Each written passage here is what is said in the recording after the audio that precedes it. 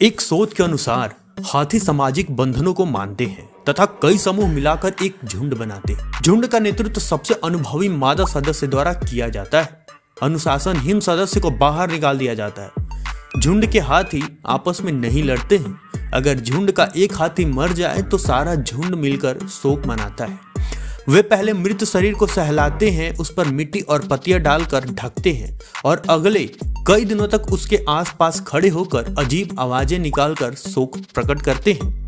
हाथी नकल में माहिर होते हैं और एक शोध के अनुसार हर हाथी के चिंगाड़ एक दूसरे से भिन्न होते हैं, जिससे ये अपने झुंड में आए नर सदस्य को आसानी से पकड़ लेते हैं।